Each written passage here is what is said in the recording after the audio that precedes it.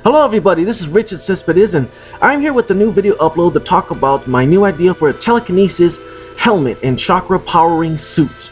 Now I know it took a while to upload some videos, but as you know I like to upload videos that has meaning and has a lot of truth to them. So without further ado, here's my idea for the telekinesis helmet. It would have to bring blood flow and energy to the parts of the brain that are involved in making you be able to do telekinesis.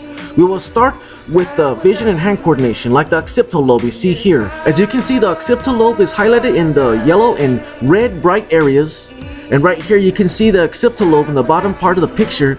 Uh, it's cut in half. It, it extends and almost touches the center of the brain.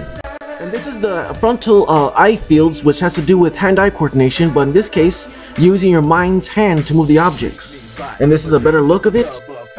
Now to continue on with the description of this area, the frontal lobe, the thalamus, the cerebral cortex, the parietal cortex, and one of the biggest is the occipital parietal junction, which has to do with hand-eye coordination that I believe is connected to telekinesis abilities. Now we'll focus on the parts of the brain that allow us to imagine. Imagination. Now those parts of the brain that allow us to do that are the occipital lobe again, the dorsolateral as you can see in the picture right here, right in the top blue section. And to continue on, the other parts would be the prefrontal, the precuneus, the frontal parietal, and the posterior, and etc.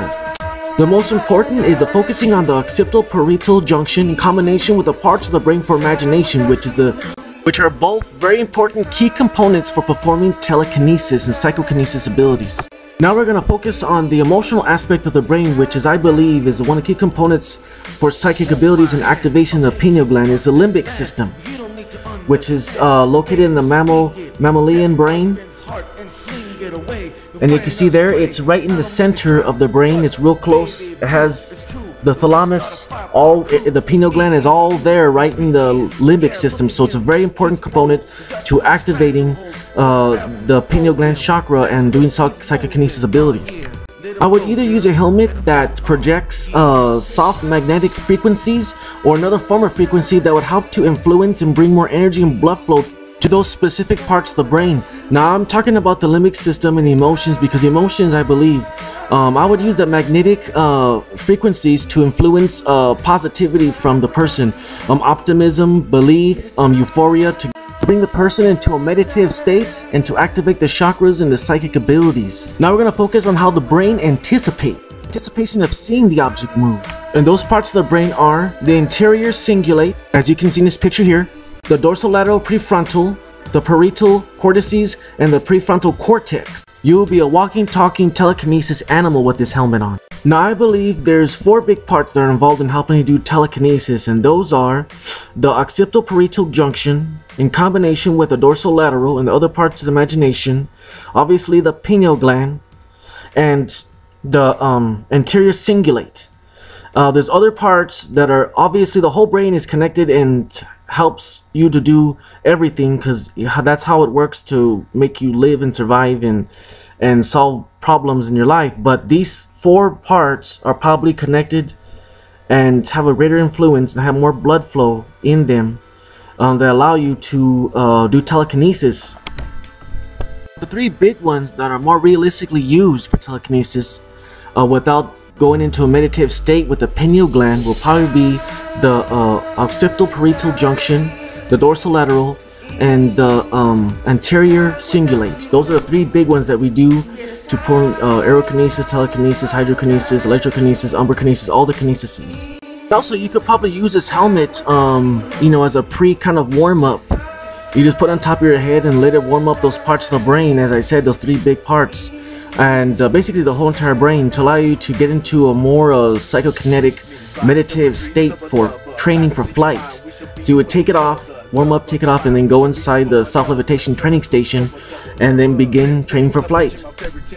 So too, um, I was talking about um, the chakra powering suit, and I'm still theorizing on that. I'm not too sure how it will work.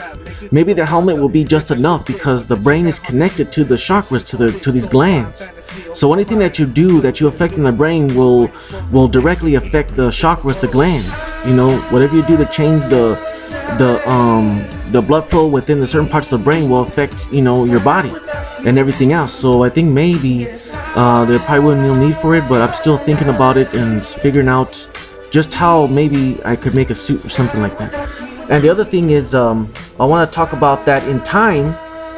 Um, wearing a helmet, it would provoke um, neuroplasticity growth, which would uh, build and strengthen the brain like a muscle. By creating new connections, as the brain learns, it creates new connections, new neural connections, and like a muscle, by bringing more blood flow to those areas of the brain, building it and making it more stronger you know, and by focusing more energy on those specific parts of the brain that allows to do telekinesis as, as I've described and spoken of in this video. And uh, I hope and I would suspect that this would be true. And again, this is uh, Ricky Cespedes, that's my idea for the telekinesis helmet and chakra powering suit.